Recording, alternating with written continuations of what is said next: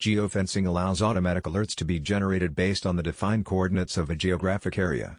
A simple example might be an email or text message that is automatically triggered and sent to a user's cell phone when that user's child arrives home from school. In this example, the geofence would be a geographic virtual boundary surrounding the house. When the child's cell phone enters this area, an email is automatically sent to the child's parent by a geofence-enabled app on the phone. Triggers do not have to happen because of a physical presence. It would be possible to establish a geofence area around a neighborhood and have alerts sent out on garbage collection days based on a schedule entered in a geofence-enabled app by the local government or collection company.